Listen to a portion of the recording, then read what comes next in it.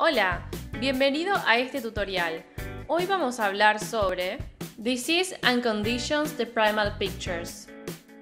Un módulo especialmente diseñado para ser claro, conciso y académicamente relevante en la interpretación de las patologías.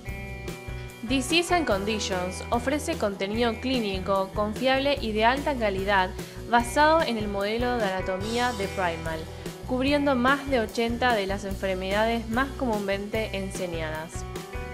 Este módulo es continuamente actualizado y presenta un flujo de trabajo completo desde la anatomía normal hasta la de un paciente enfermo.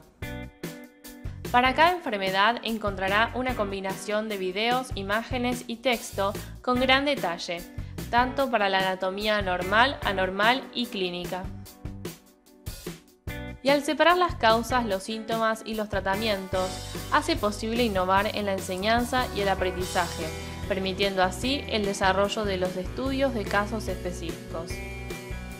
Ahorre tiempo, aumente la comprensión y mejore los resultados del aprendizaje con Disease and Conditions de Primal Pictures. Estas y otras informaciones las puede encontrar en nuestro canal de YouTube .lib TV. Hasta la próxima.